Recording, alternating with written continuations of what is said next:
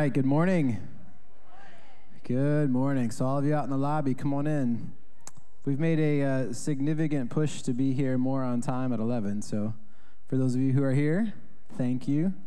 Thank you. We'll bring that up again uh, when we get a little further into the service. So, uh, as you know, during the summertime, we're doing uh, some announcements at the beginning of the service. So, I wanted to give you a few of those things that are happening. So, uh, the first big announcement you need to know is this. Um, so we'll go ahead and click that one. There you go.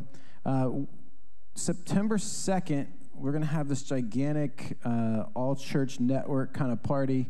Uh, we're going to have one service at 10 o'clock. Uh, we're selling tickets for this. We're going to bring in food vendors and all kinds of fun stuff. So uh, the tickets for this go on sale today. So you can go right onto lfachurch.org. You can click the banner at the top or click the little pop up block uh, and you'll be able to buy your tickets that way. So they're $8 a person or $30 a family. Uh, if you are one of those that you don't do technology and you want to buy tickets, just write a check for it. Uh, and in your memo, include the total number in your party. Uh, we need to know how many people you're bringing with you. Uh, so if we don't have that number, we won't know how many tickets to set aside for you.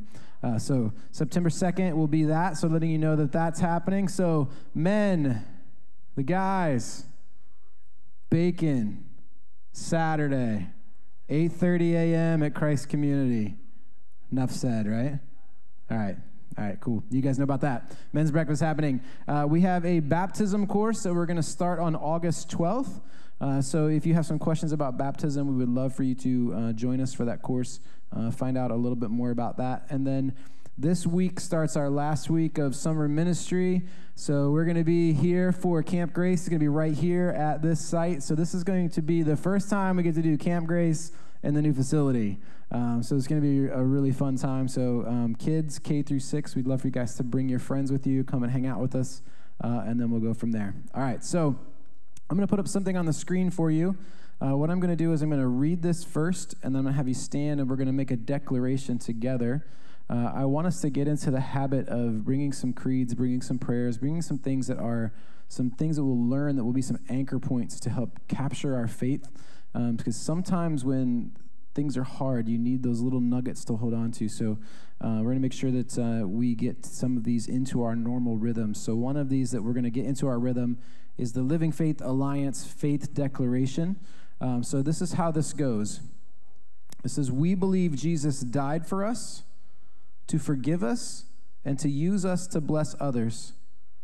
We believe Jesus died to make us the new people of God, empowered by the Holy Spirit as an outpost of the kingdom of God in this world. Therefore, we will pray, not my will, but yours be done. We will minister to God in worship. We will minister to each other through our gifts and talents as we live in community together we will minister to the world by proclaiming and demonstrating the gospel. So take a look at those for a second. If you're willing, I'm going to have you read those with me out loud here in just a moment.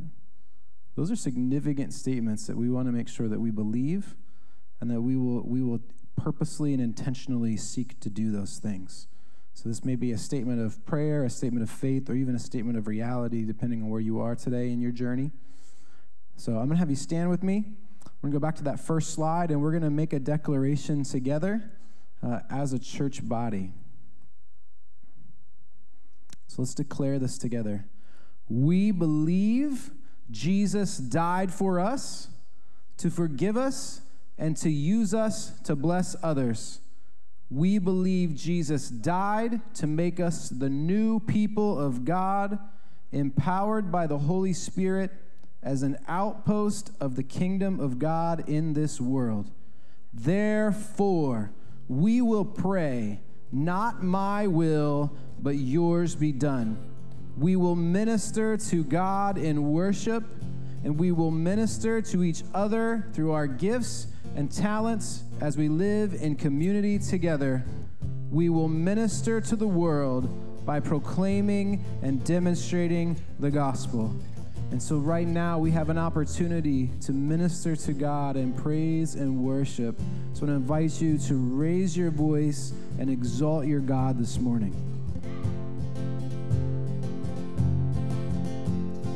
He is exalted, the King is exalted on high, and I will praise him. He is exalted.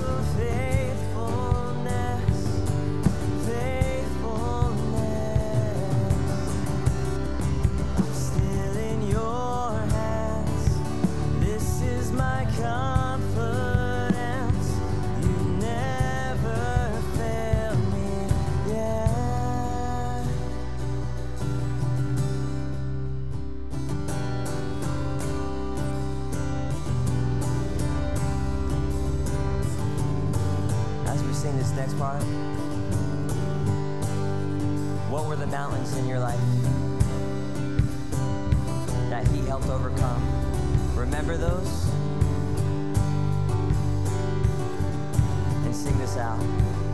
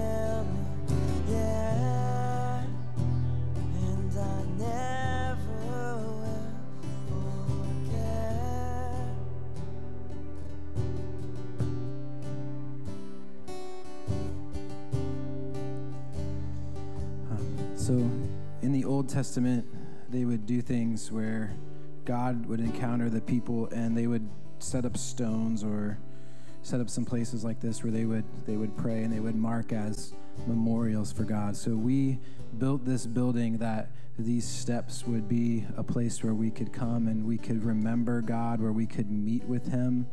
So I don't know if you know or not, um, but this would be good information for all of you to know. We do have this thing in our church called a prayer chain. Uh, it's email based, so you would email prayer at lfachurch.org, or you can write your prayer requests on your Connect cards and we get them that way. Uh, but there have been just tons of hard things lately coming across our prayer chain. So whether that's a death of a family member, um, you know, I saw one for like a cancer treatment that didn't go very well. Um, you know, there's there's a little kid that was in the hospital. Like we've seen just just really hard things on the prayer chain lately.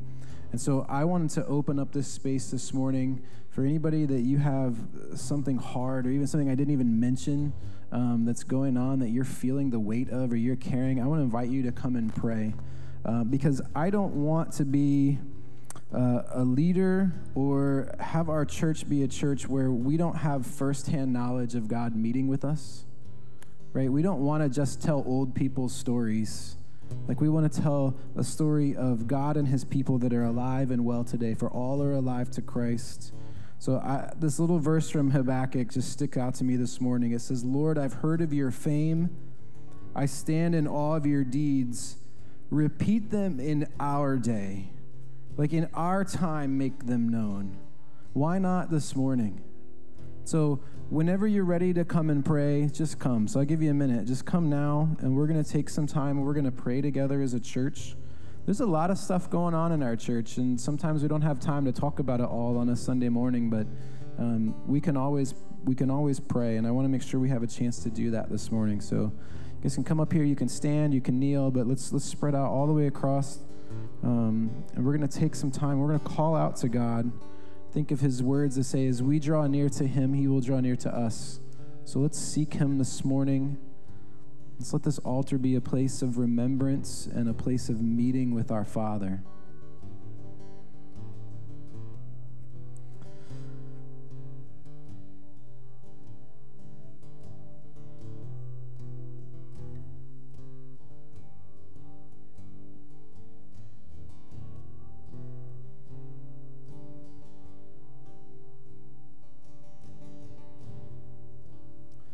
Jesus, I just want to call out to you and I want to say we need you. We need you in every moment. We need you in every situation. So, God, whatever we're carrying this morning, would you meet us in the midst of that?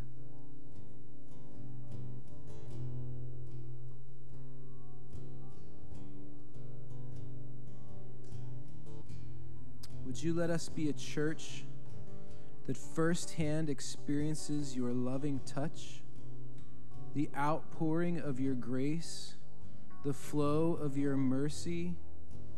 That we would be a people, God, like when you walked this planet, that would be in awe of you just speaking words, of you just touching people of following you around and watching you do what only the Father told you to do. May we be a church like that. So, God, we come and we pray this morning. The call is for things that are just hard or weighty on us right now. So, whether that's dealing with death and grief, just to physical weakness or even emotional sadness, whatever the range of those things are, God, would you draw near to us right now? Would you speak words of comfort? Would you speak words of hope? Would you speak words that would call us closer to you, that would even awaken faith in us, maybe if it's even for the first time? So, God, we want to look to you, we want to cry out to you. We ask you, God, that you would draw near. So, God, I'm going to stop talking for a second. I just want to ask you to speak to everyone here this morning, especially those that are praying. Would you speak a word or just a phrase of truth?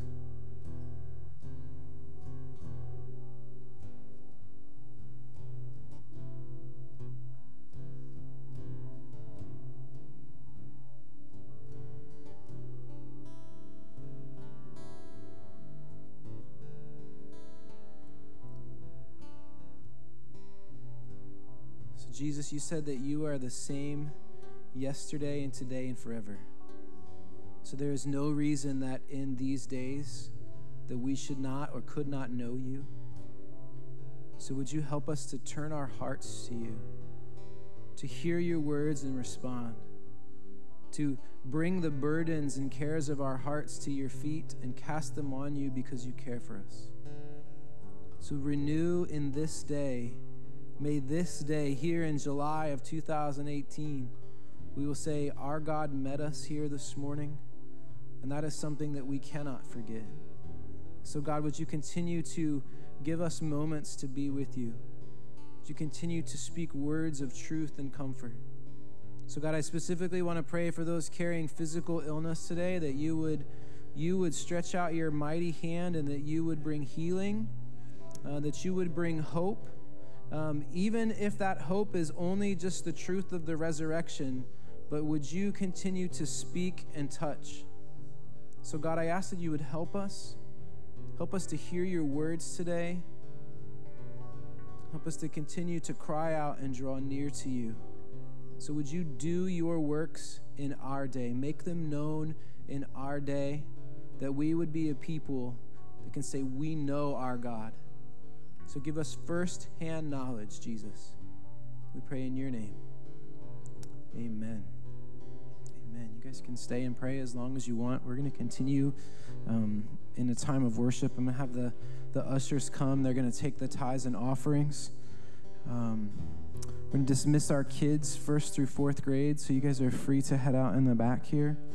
Um, just want to say thank you, church, for doing that. Thank you for, for supporting and giving and praying.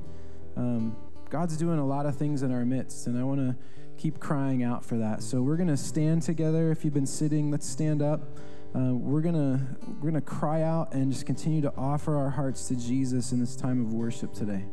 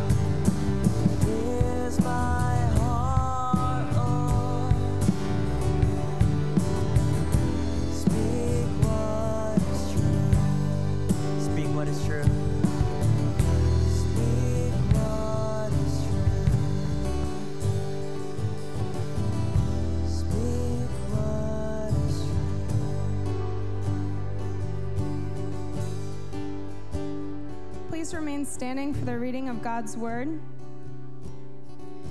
You remember how we lived in the lands of Egypt and how we traveled through the lands of enemy nations as we left. You have seen their detestable practices and their idols made of wood, stone, silver, and gold. I'm making this covenant with you so that no one among you, no man, woman, clan, or tribe, will turn away from the Lord our God to worship these gods of other nations, and so that no root among you bears bitter and poisonous fruit. Those who hear the warnings of this curse should not congratulate themselves, thinking, I am safe, even though I'm following the desires of my own stubborn heart. This would lead to utter ruin. The Lord will never pardon such people. Instead, his anger and his jealousy will burn against them.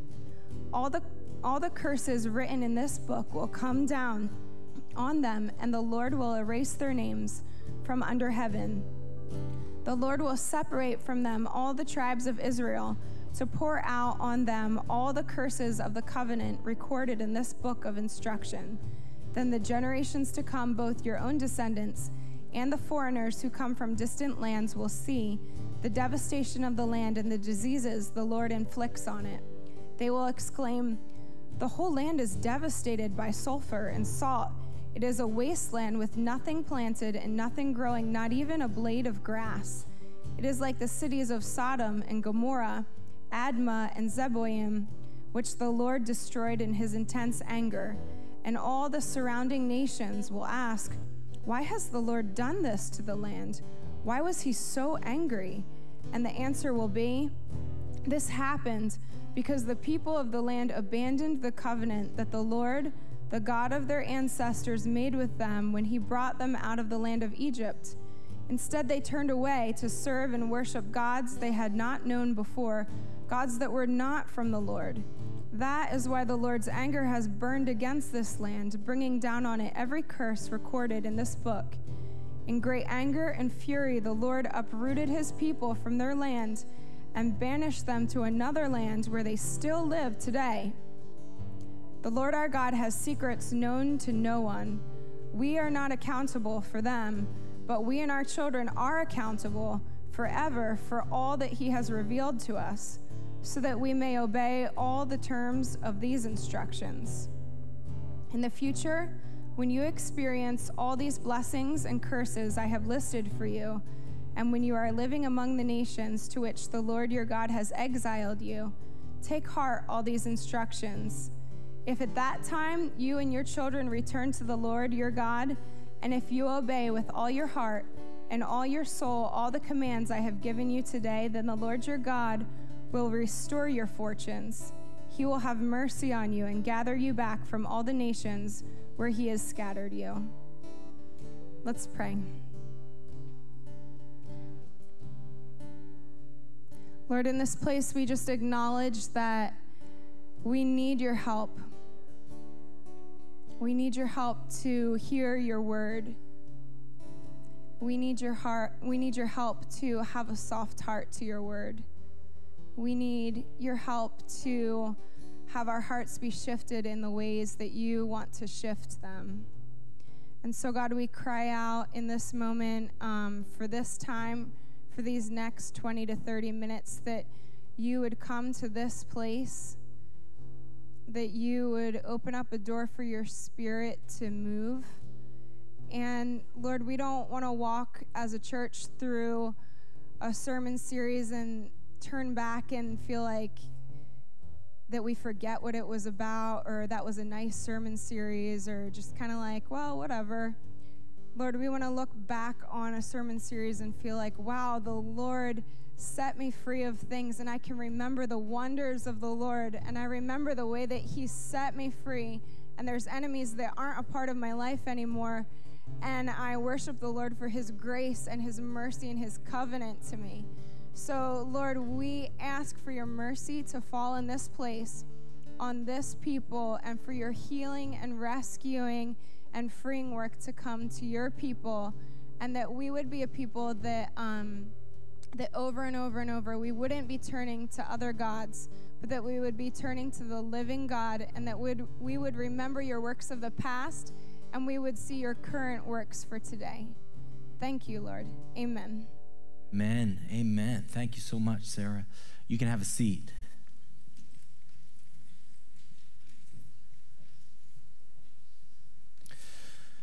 Well, I'm Pastor Greg. Uh, for those of you who I haven't met, I'm also Pastor Greg. For those of you who I have met, stays the stays the same. Um, so I am going to be preaching this morning. I'm excited to to do that. Uh, this has been uh, an interesting summer for me.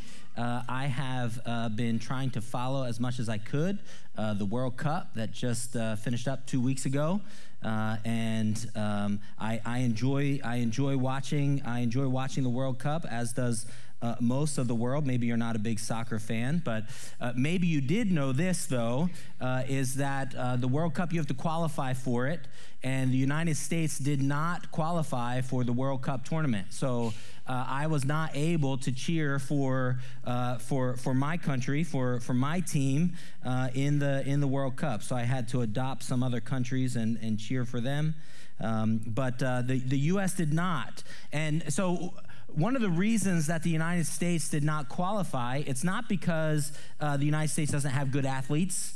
Uh, it's not because the United States doesn't have uh, athletes that have the technical ability to, to dribble, to shoot, or to pass.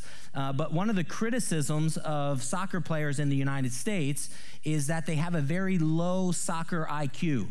They're not intelligent soccer players. And so, what that means to have a low soccer IQ is that um, to use your athleticism, to use your technical ability on the ball, you have to be able to do that very quickly. You have to make fast decisions, and uh, U.S. soccer players are not known for being able to make fast decisions. Uh, soccer is, is not uh, is, is called a player's sport.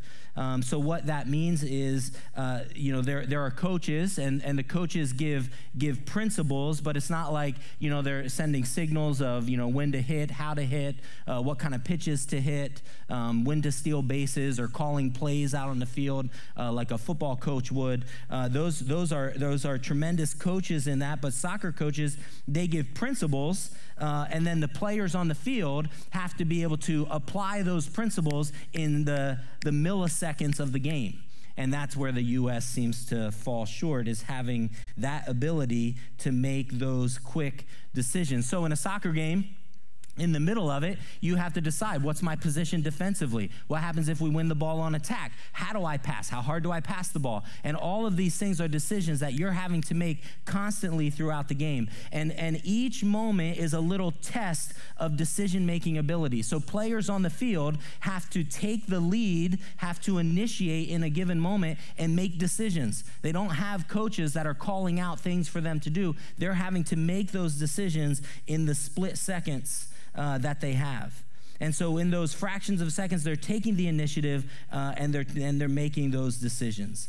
Um, so it's a players it's a players game, and that's one of the things I like about soccer, uh, is because I think soccer is very much like life um, where we have our mentors, uh, we have the people that teach us, we have the people that, uh, that, that, that, that offer us counsel, but we're in the moments having to take initiative, having to step up and, and provide leadership in a given moment. And, and we have to make those decisions, we have to make those, we have to make those calls. Uh, and so repeatedly, uh, we're called upon to insert ourselves and figure out, all right, what is it that we need to, what is it that we need to do? And like I said, we have, we have people that give us counsel. Uh, we have people that offer us advice, but, but we are empowered as decision makers. And so maybe if you think throughout this year, you've probably had a number of different little tests, little, little leadership opportunities that you needed to step into and make a decision. You had to make a call. Uh, and, and it could happen in a variety of different environments. It could be related to your schoolwork. How much are you going to study? How much are you going to engage as, as a lecture is coming your way? Uh, how much are you going to um, step into and invest in relationships or in friendships? Or, or maybe in, in a relationship, you're, you're having some tension. So, what are you going to do about that? Are you going to step in? Are you going to insert yourself and, and bring loving confrontation? Are you going to distance yourself? Are you, are you stepping into those moments? Perhaps Perhaps it's a crisis. How are you going to respond in times of crisis when that, when that, when that news comes or, or news comes to somebody else? And how are you going to engage that? What, is the, what are those, those, those moments for, for leadership initiative? Uh, maybe as a parent, you're facing a parenting puzzle. Uh, and you don't know how to address a certain situation. Are you going to step in? Are you going to engage? How are you going to lead in that particular moment? It could also be that God has given you vision for, for something at Living Faith Alliance Church. Maybe He's awakening in you uh, like eyes to see a certain need and inviting you to step in and to, and to bring your gifts and your strength and your initiative. How are you going to respond to that? How did you respond to that? Maybe it's a need in your neighborhood or in a community or, or in, in, in, some, in some point of, of contact that you have where you're seeing brokenness and there's this opportunity for you to take the lead. Are you stepping up? Are you, are you withdrawing? How are you engaging that? So, those are your leadership opportunities, your leadership challenges. And so, this morning, what I want to talk about is how's our, how's our leadership IQ? How's our leadership intelligence in those, in those moments? And I think God has, God has some things that He wants to tell us uh, about those particular moments and how He's inviting us to take initiative, to step in and, and, offer, and offer our leadership. And so today is about uh, God wanting us to grow in our leadership IQ. And there's, there's certain things that I think He needs to tell us in order for us to engage in those little leadership challenges, those little tests, how to engage those uh, entirely differently. And so we've been studying the book of Judges. Uh, we're now into our fourth week uh, in the book uh, in the book of Judges, and today we're going to be in Judges four and five, and we're going to be studying the the story of Barak and Deborah. Uh, and how God used them. And so we're going to look at their lives so that they will be able to train us uh, in these leadership challenges to increase our leadership IQ. Now, in this series, not only are we walking through the book, uh, but we're looking at certain themes, theological themes. And so there's four main themes that we're going to circle around in this, in this particular book. So in chapter one, we saw the theme that God wants to be king over every area of life. He desires wholehearted obedience. Pastor Chris led you into, into that. And what we saw is that the people were obeying God, but they were obeying God through um, half hearted obedience. And so there was a lot of compromise. And so there was a result of that half-hearted obedience was really uh, partial blessing.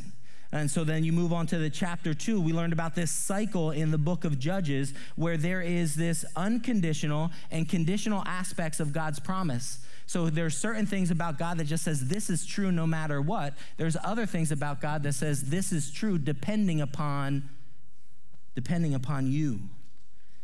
And so it, he desires wholehearted obedience, but as God gets partial obedience, there's times where he will withhold blessing or give us over to desires that are even destructive for us. And then in chapter three last week, uh, Pastor Chris uh, taught through three different judges Othniel, Ehud, and Shamgar. Uh, and, and in those judges, we saw this picture that, that with each judge, uh, with each judge, it's going to point to a true aspect of a true Savior. So no judge is perfect, but each judge has an aspect that they bring that points us to the need of a true Savior. And that's the best that godly leadership has to offer us. And then in chapter four and five, which is what we're covering today, is we're going to see that there's always a cost there is always a cost to compromised leadership or compromised obedience. There's always, there's always a cost. So, just like last week when we looked at the imperfect judges, and we saw how in those imperfect judges we got to see perfect things about Jesus, this week as we look at uh, some imperfect, an imperfect judge, and then a good example of a judge, we're going to get to grow in our understanding of leadership. So, Judges 4 and 5, uh, we're going to be increasing our leadership IQ in three ways. I think there's three things that God has for us uh, this morning that he wants to teach us in regards to in regards to leadership. And like I said, it's going to come through the positive example of one, which is Deborah, and then the negative example of Barak. Uh, and we're going to see that they face certain tests, and we're going to get to see how they responded to those to those tests. So here's the first point, and the first point I, uh, I think God wants to teach us this morning about leadership uh, isn't found actually in this particular chapter. It came up in, in when I taught Judges, the beginning of Judges chapter three, and it's this: that tests of your leadership are enormous opportunities for growth. That God designs tests for, for of your leadership as a way for you to grow, as a way for you to mature. Uh, leadership tests are not simply pass fail, but they are opportunities ordained by the Father for you to grow. So we saw this in Judges chapter 3. So I do want to pull back a little bit and look at that verse to remind you of what we covered before. Now, these are the nations that the Lord left to test Israel by them. It was only in order that the generations of the people of Israel might know war to teach war to those who had not known it before. Let me, let me explain what that means. So, the, the generation before had seen the battles that Joshua had fought, had seen God do mighty things in, in crossing the Jordan River, and, and, and we sang about the, the walls of Jericho coming down. They had gotten to see that. Those were tests of their faith that increased their faith. But this next generation that grew up did not know God nor the works that he had done for his people. So God says, I'm leaving some people in the land so you have the opportunity to face those battles to have those tests so that you too can be trained in war and your faith can increase like the generation before you did. So God creates these tests for them so that they would be able to grow. These, these leadership tests are an opportunity for them to grow. So God leaves certain nations. Pay attention to the five lords of the Philistines, all the Canaanites, and the Sidonians and the Hivites who lived in Mount Lebanon from Mount Baal Hermon as far as Lebo Hamath. They were for the testing of Israel. So now we turn to the very next chapter, right? Chapter four, and we're going to find that there are one of these Canaanite lords that are in the land, and it is now a test. That God here in chapter three says they are placed there to test you. And so that's exactly what we're going to see here in chapter four. So, tests of your leadership are enormous opportunities for growth. So, now look here at Judges chapter four. We get into our passage. And the people of Israel again did what was evil in the sight of the Lord. That's the cycle. After Ehud died, that's what Pastor Chris talked about last week. The Lord sold them to the hand of Jabin, king of Canaan. Remember, God was going to leave some of the Canaanite lords for testing them. That's exactly what's going on here. So God is testing them through Jabin, the king of Canaan. Now, Jabin has a commander of his army whose name is Sisera. Okay, and Sisera lived in Harosheth Hagoyim. That's, I'm glad that's not my address. All right. Then the people of Israel cried out to the Lord uh, for Sisera had 900 iron chariots. He had the weapons of mass destruction. Like this was very intimidating. 900 iron chariots um, that he used to oppress the people of Israel with. Okay, and so this story is going to revolve around two, two quasi judges one judge Deborah, and the other almost judge Barak. And we got a photograph. Uh, this was taken with an iPhone 7. Um, I don't know why I said that. So, um, you have Deborah and Barak. So those are the two. Those are the two characters um, that God is going to uh, use uh, in this delivery. And and so Deborah is going to get an A plus. She's going to keep on growing as a leader. Barak is going to get a D. Now Barak gets a D. I don't give him an F because he doesn't completely fail, but he's compromised. And you're going to see that. You're going to see that quickly. Um, and so as we know, there are consequences for compromised leadership. All right, so we have two other points about leadership that we want to learn uh, this morning, and we're going to learn them through the story of, uh, of, of Deborah and Barak. All right, so I'm going to read that to you. I'm going to read it from the message version. Um, you can follow along there. I recommend you have your, your Bible out so you can take notes as we go along, and then I'm going to make my points um, using a, a, a, different, a different translation. Warning, uh, this is one of those stories in Judges. It gets a little, a little grisly. Um, and you know it is it is this is the result of brokenness this is the result of sin so uh, judges kind of looks pretty clearly at that brokenness and god in his grace even works within uh, the brokenness of our world so this is probably like a pg-13 uh, rating on this particular story so the people of Israel kept right on doing evil in God's sight. With Ehud dead, God sold them off to Jabin, king of Canaan, who ruled from Hazor. Sisera, who lived in Harosheth Hagoyim, uh, was the commander of the army. The people of Israel cried out to God because he had cruelly oppressed them with his 900 iron chariots for 20 years. Deborah was a prophet, the wife of Lapidoth she was judge over Israel at the time. She held court under Deborah's palm between Ramah and Bethel in the hills of Ephraim. The people of Israel went to her in matters of justice. She sent for Barak, son of Abinoam from Kadesh in Naphtali and said to him, It has become clear that God, the God of Israel, commands you go to Mount Tabor and prepare for battle. Take 10 companies of soldiers from Naphtali and Zebulun. I'll take care of getting Sisera, the leader of Jabin's army, to the Kishon River with all his chariots and troops, and I'll make sure you win the battle. Barak said, If you go with me, I'll go. But if you don't go with me, I won't go. And she said, Of course I'll go with you. But understand that with an attitude like that, there'll be no glory for you. There'll be no glory in it for you. God will use a woman's hand to take care of Sisera. Deborah got ready and went with Barak to Kadesh. Barak called Zebulun and Naphtali together at Kadesh. Ten companies of men followed him, and Deborah was with him. It happened that Heber, the Kenite, this, this is kind of a, seems like an aside story right here. It happened that Heber, the Kenite, who had parted company with the other Kenites, the descendants of Hobab, Moses' son in law, Moses' in law, he was now living in Zaanannim Oak near Kadesh.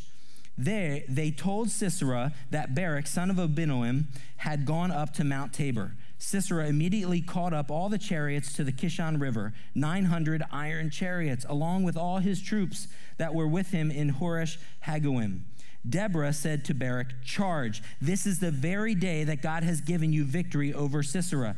Isn't God marching before you? So Barak charged down the slopes of Mount Tabor, his 10 companies following him, and God routed Sisera, all those chariots, all those troops. Before Barak, Sisera jumped out of his chariot and ran. Barak chased the chariots and troops all the way to Harosheth Hagoyim. Sisera's uh, entire fighting force was killed, not one man left. Meanwhile, Sisera, running for his life, headed for the tent of Jael, wife of Heber the Kenite. Remember, we just talked about that he had pitched his tent somewhere. So Jabin, king of Hazor, and Heber the Kenite were on good terms with one another. So Jael stepped out to meet Sisera and said, Come in, sir, stay here with me. Don't be afraid. So he went in with her into the tent. She covered him with a blanket. And he said to her, Please, a little water, I'm thirsty. So she opened a bottle of milk, gave him a drink, and then covered him up again. He then said, Stand at the tent flap. If anyone comes by and asks you, Is there anyone there? Tell him, No, not a soul. Then, while he was fast asleep from exhaustion, Jael, wife of Heber, took a tent peg and a hammer, tiptoed toward him, and drove the tent peg through his temple all the way into the ground. He convulsed and died. Then Barak arrived in pursuit of Sisera, and Jael went out to greet him and said, Come, I'll show you the man that you're looking for. And he went with her there, and there he was, Sisera, stretched out, dead, with a tent peg through his temple. On that day, God subdued Jabin, king of Canaan, before the people of Israel. The people of Israel pressed harder and harder onto Jabin, king of Canaan, until there was nothing left of him. Wow, that's quite a story. That's quite a story of, of God's deliverance of his people. Um, so, the second point, the first thing we learned about leadership is that our tests are opportunities for us to grow. They're tremendous opportunities for, for us to, to grow as, as leaders and to increase our faith. The second thing uh, that God wants to teach us in terms of leadership is that God wins victories through leaders that God wins victories through leaders. And we're going to see, we talked about uh, the role of Deborah. We talked about the role of Barak. We talked about the role of Jael. We talked about where tents were set up. And, and God wins victories through leaders. And so let's first look at Deborah. Right? So God wins through Deborah's wisdom. It wasn't Deborah's might, it was Deborah's wisdom. Verse 4 told us that Deborah was a judge. She was a prophetess, the wife of, of Lapidoth. She was judging in Israel at the time. And so she settled disputes by wisdom. So it said that she would sit under the palm of Deborah. My guess is it wasn't called the palm of Deborah, but you know, she's like, oh, where should I meet? Oh, I'll meet at the palm of Deborah.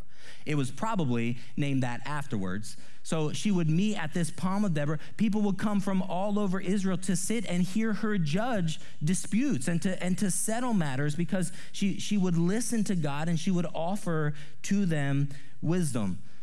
Which, by the way, this is how she points to the true judge that is to come. Right? What do we learn about Jesus? Is that he is a wonderful counselor. So this is a picture of the wonderful counselor that is to come, to come. Deborah is that picture of Jesus here. And so she gives God's word to Barak to gather an army. Right? She tells him then even when to strike, gather the army and then then wait for it, wait for it. Then she tells him when to strike. Uh, chapter 5 uh, retells this same story through a poetic lens. And in chapter 5, we find out that, that the, the picture is that all of Israel ceased until Deborah arose as mother in Israel. So God used Deborah to win his victory.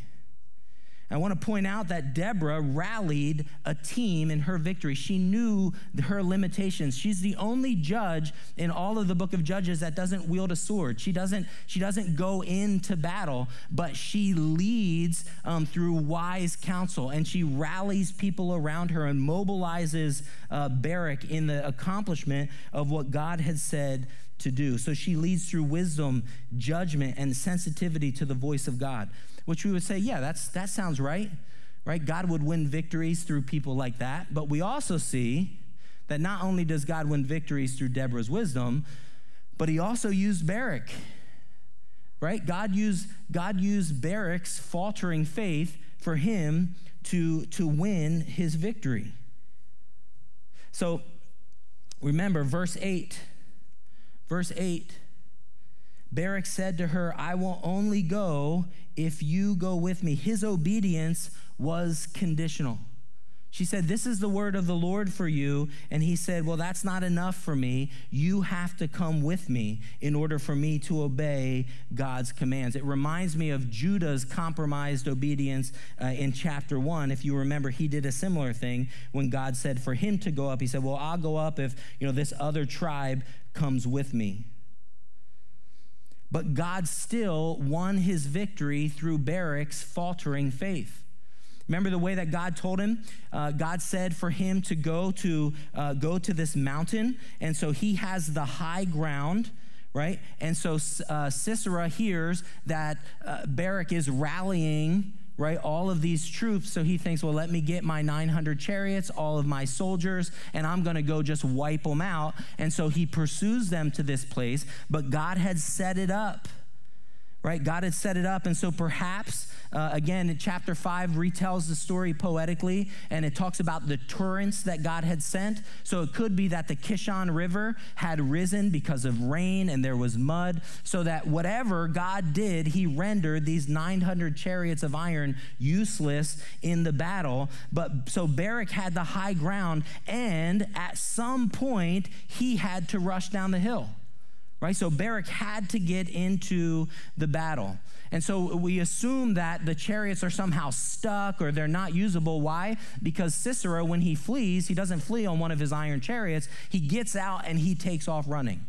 Right? So something, God did something through Barak's advance in delivering the army, right? In delivering the army uh, under Barak's sword. So Barak did demonstrate some great faith in charging down the hill. And so then he pursues Sisera.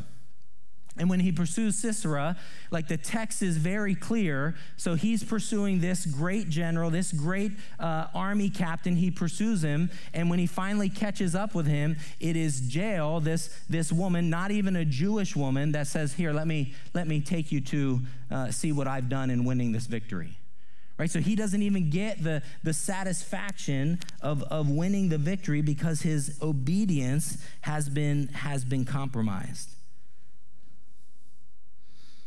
But i think the point is clear here is that god is winning the victory through the wisdom of deborah and even through the faltering faith of barak. It is god that is winning the victory God is going to win his victory either way. I want to sit on that point for a minute. God is going to win his victory either way. Chapter 4, you could say, is written from the historian's perspective. Chapter 4 is written from a perspective of who are the generals? Where do they set up their tents? What kind of army do they have? Right? That's that's chapter 4 it's written from the historian's perspective. In chapter 4 as we read through the story of deborah and barak you know how many times god is mentioned in that? Two times. Two times in, in the chapter telling that story. Then when we turn to chapter 5 the poet's perspective is no longer about the generals. It's no longer about where we're tents set up. It's about what's happening behind the scenes and when they retell the story from the poet's perspective in chapter 5, 15 times God is mentioned. Because God is the one pulling the strings. God is the one that is in charge. God is the one that is that, that is that is behind the scenes making it work. Why? Because God is the one who guarantees the victory. Now, next time you're facing your leadership puzzle, your leadership challenge, I want you to remember point number two God wins victories through leaders. God doesn't win victories because you're competent, God wins victories because He is. So, through the wisdom of Deborah or the faltering faith of Barak, God wins victories through His leaders. So whether we get the, the historian or the poet, and I think those two perspectives are really good perspectives for us. If we could look at life from the standpoint of there's things that we have to do, the historian tells us we're, we're agents in the drama, we're actors in the play, that we have leadership responsibilities and our actions have consequences. And we walk by faith, and there's battles that we have to fight, and there's commands that we need to obey. But at the exact same time, the poet teaches us that God is the one in charge, that God is the one who wins the victories through us. It's an incredible truth that the Father will win victories through you. Let me give you two stories. I, uh, a couple years ago, I got a call. I was actually watching an Eagles game. Eagles were doing really poorly, and I got a call from my sister, and it was in regards to my parents who are on vacation in the Smoky Mountains. Some of you have heard this story. They're on vacation in the Smoky Mountains. They called my sister, and my sister reported this. I got a call from mom and dad. They wanted me to tell you and KJ that they love you, um, and and that was it. Like they were kind of saying saying goodbye. And what I found out is that there was a fire in the Smoky Mountains and they were they were literally trapped in it. They had gotten in their car. There was no way they could not get out. They were completely surrounded uh, by this forest fire that had come up quickly uh, and had come rushing down the mountain and had surrounded the the place uh, that they were staying. And uh, so I tried to get on the phone, tried to call, you know, whatever emergency personnel that I could get a hold of in, you know, in New Jersey. And uh, I found out that, you know, all emergency personnel were already notified. They were mobilized. This was a huge, uh, this was a huge fire. And so I really had nothing that, that I could do. And so I just sat down and said, guys, we got to pray. And so I started praying. Didn't know how I was going to pray about this, um, but I just I just started praying. And when my parents tell the story, uh, at that point in time, because I was able to track on the GPS where they were located, and they were stopped, and they had been able to drive maybe a half mile, surrounded by fire, uh, and they couldn't get out. Uh, and at that point, they were just they couldn't go anywhere, so they were parked uh, and so we were praying. And as I started to pray, I remembered Jesus commanding the wind. And I said, Jesus, you, you command wind. So would you speak to the wind and, and open up a path for them? And you know what happened? The wind shifted. Jesus spoke, and they said it was like the, a doorway opened up in the flames and they were and they were able to drive out to safety. That wasn't that wasn't a glory to Greg, right? But God won his victory through the prayers of me and others that were just saying, God, you're you're in control.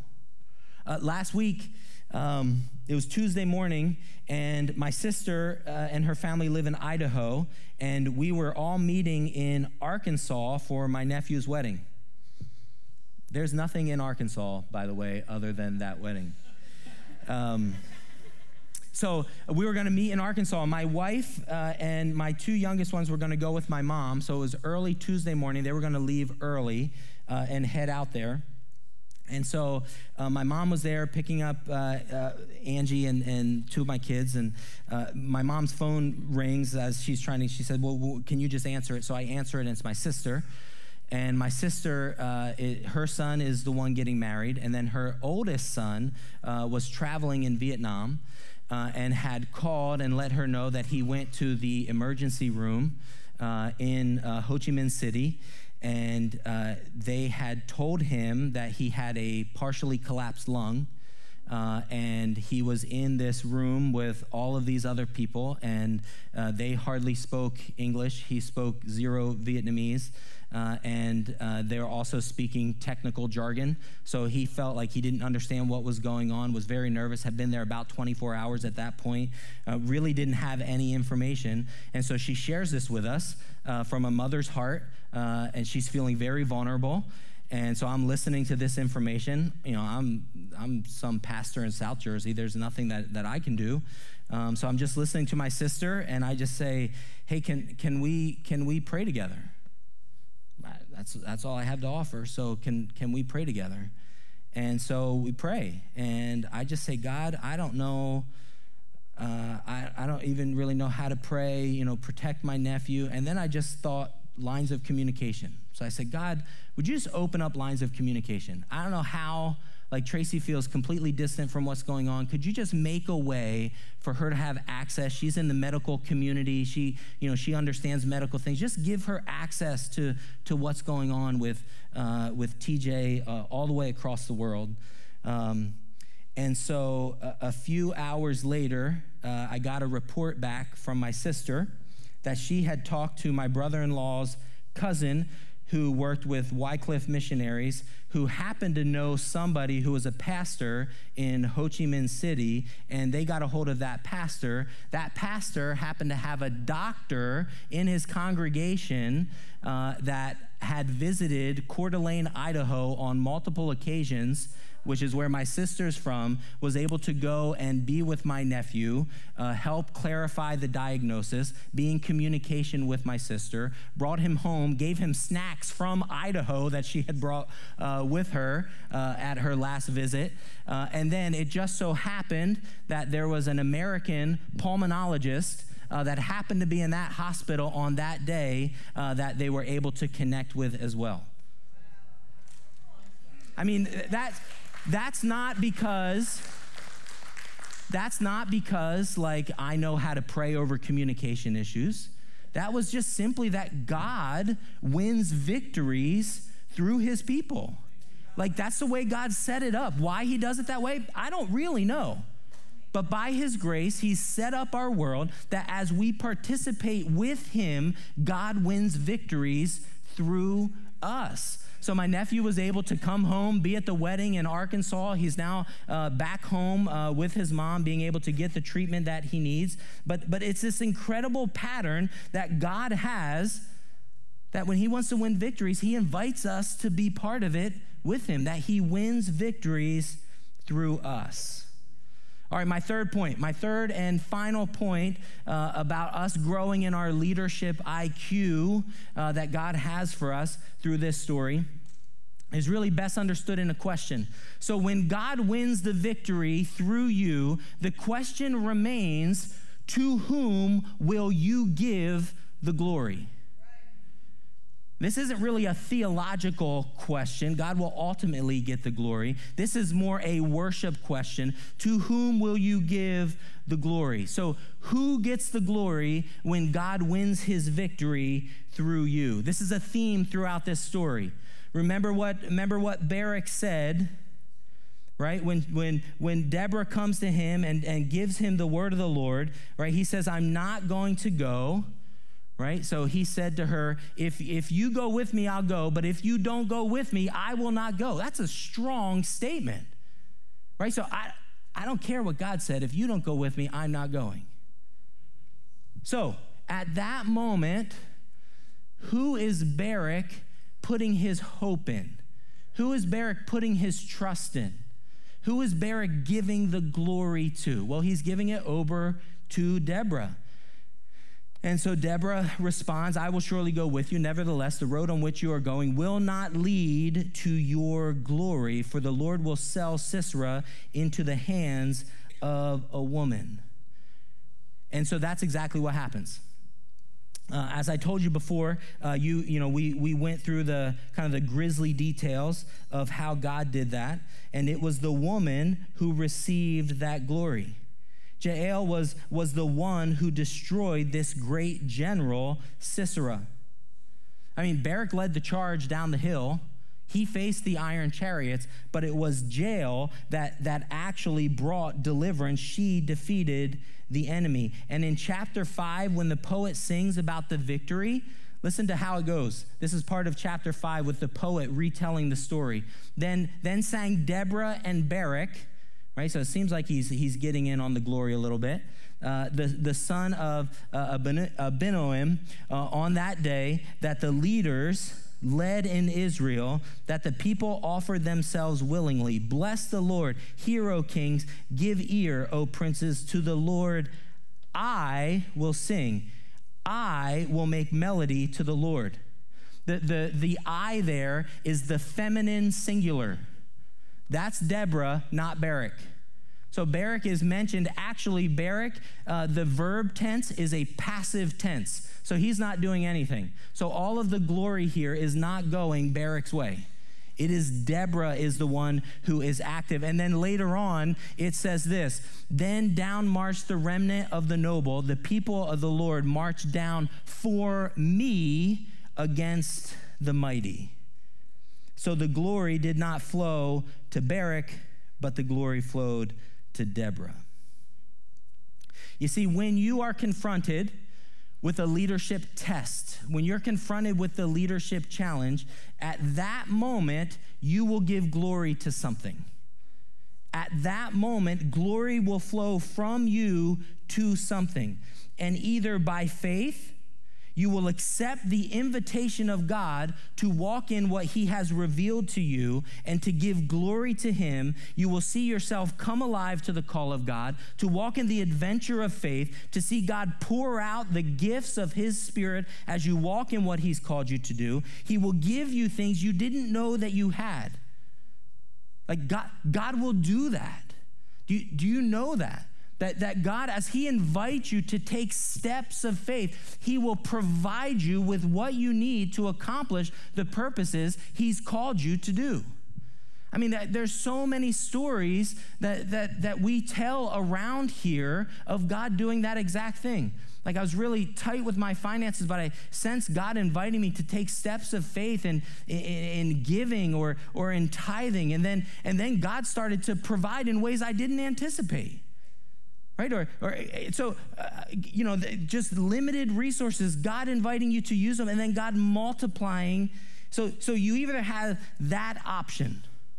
Right so when you're confronted with a leadership test at that moment you're going to give glory to something. So you either give it to god right or you give glory to something less than god. You give glory to something else you give that glory over to some other thing. Did you notice? We've been using the, the little icon here, the fig leaf. Right? That was the first time that we gave our glory over to something else in the book of Genesis. And the shame that came by giving glory over to a woman or from a woman giving glory over to, to, to some other thing that's less than God brought shame. And the fig leaf was what Adam and Eve grabbed hold of to cover their shame. So, why do we do this? Why do we give our glory over to something else? The, the text really doesn't answer that question. Why did Barak do it? Why did Judah do it in chapter one? Why do we give our glory to things that are less than God? When the, when the leadership challenge is, is in front of us, why do, why do we shrink back? Why do, we, why do we hide from it? Why do we trust in something other than the voice of God? Eh, I would guess, I would venture to say, bottom line is fear. That, there, that there's something that we fear. So maybe for Barak, it was, I, like, I fear those 900 chariots. So unless you're with me, I fear failure. Or maybe it's I fear the, the loss of control. You're asking me, God, to step into something. It's too messy. I don't feel like I could get my arms all the way around this. Or I can't think through all the details and figure this out. Maybe we fear not being enough for the task at hand, or maybe the opposite. Maybe we feel like we're a little bit too much and it's going to overwhelm people if we bring our strength, if we bring our gifts to whatever the leadership challenge is in front of us. But the bottom line is we give our glory to another and we settle for far less than what God has designed us for. But maybe you think, I mean, it seemed to work okay for Barak, right? I mean, he was able to to win the victory. I mean, sure, he didn't get the glory, but it seemed to work out for him. So, what do we really miss out on? I think there's two things that we really miss out on when we give our glory over to something else. What we miss out on is growth. We miss out on maturing in our faith. Deborah got to just keep on tracking with God. She got to keep on growing with God.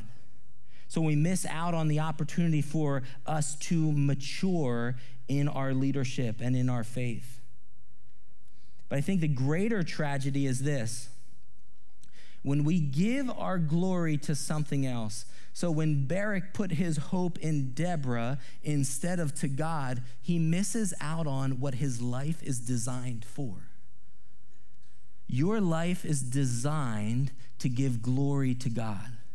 Your life is designed to point to the greatness and perfection and power of God. And when we shrink back from those leadership opportunities, we miss out on living life to the fullest. We miss out on living for what we're made for. We miss out on our design when we shrink back from what God has called us to.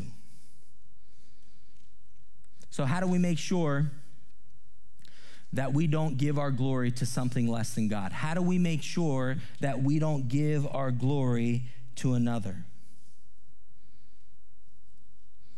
I think the example of Deborah gives us a, a framework uh, that should help. So what did Deborah do? Well, she was somebody that would that would listen to God. She was attentive to the voice of God. So when she looked at the situation in regards to uh, the the Canaanite king, she was listening for what does God have to say about that. And so she would then listen to God, consult his desires, and then seek his resources. She would speak into situations. I think often for us, we fail at step number one. We don't, we don't acknowledge that God's in control of a situation. We, don't, we, we functionally live life as uh, an atheist would, like things just happen. That's lucky, that's unlucky. Instead of, there is a God. Chapter 5, the poet teaches us that there is a God that is in control of all things. So we start with, we get confronted with a leadership challenge. Start here, acknowledge God in confronting our next leadership test. That God, that God is present, that, that God is here. And then ask the question, what does he want? What is he looking for? What does God, what does God desire of us? And then tap into his resources. Like God, you like you want to cattle on a thousand hill. Like you you, God, you you are in control of all things. You have everything we need for life and godliness is ours in christ jesus. So let's tap into the resources that god has for us. So you are going to be challenged with a leadership test. And i want you to remember three things. That test is an enormous opportunity for you to grow. Second thing I want you to remember in that test, God will win victories through you. The third thing I want you to remember is the question is as God wins his victories through you, who is going to get the glory? Here's how I'd like us to end. Uh, these are faith talks that you can pursue later on in conversation, uh, but I'd like you to give some thought to them right now. First thing I want you to ask is what are the leadership tests that are in front of you? What are the leadership challenges that you are facing? What are those, what are those puzzles? Maybe it's in uh, where you work. Maybe it's in relationship. Maybe it's in an area of ministry. What are the leadership tests that you are, you are confronting? And in what ways have you said yes to God in those leadership tests? In what ways have you, have you stepped in and, and leaned into God? Or in what ways have you leaned into something else? In what ways have you given glory to another? Yeah, could I have the worship team come up? So, in what ways have you put your hope in something less than God in confronting those leadership tests that are in front of you? All right, so I want, I want you to think about those. I want you to have uh, those leadership tests in your mind uh, as we move towards the end of the service here. Uh, and it's going to, I'm going to give you an opportunity to receive prayer over those leadership tests as a way of starting uh, following Deborah's pattern. Let's just get before God on this particular test. Let's, let's acknowledge that God is here. Let's seek his resources over this leadership test that is in front of you. All right, so that's how we're going to end this service. So, right now, I just want to give you uh, some moment as Christian and the team plays that you can be thinking about these faith talk questions. Can have conversations about them later, but for now, just be thinking about those. Uh, and then uh, Pastor Chris will come up and lead you in a time of being able to pray over them as we would grow in our leadership IQ. That God has things that He wants us to know about Himself as we confront these leadership tests, that our faith would be able to increase.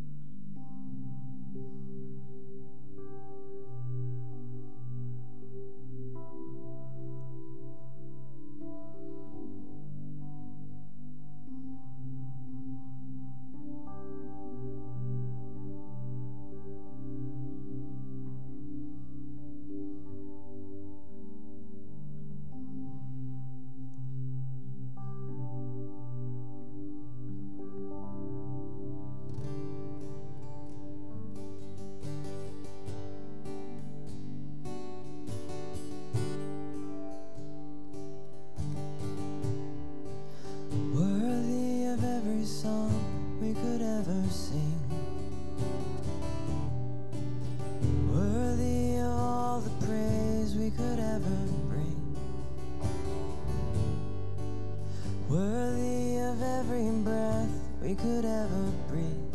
We live for you.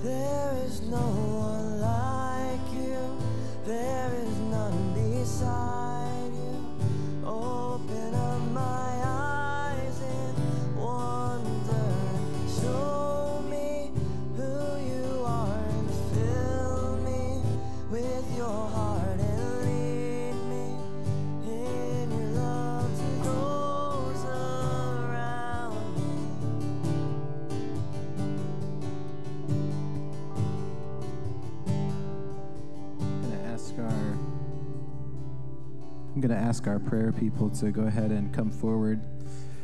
Um, I'm going to give you two things this morning. Um, one is I'm going to give you an opportunity to come and pray. Uh, but two, I want to also challenge you not to leave this place today, not just this room, but this whole place, without sharing what your leadership challenge is.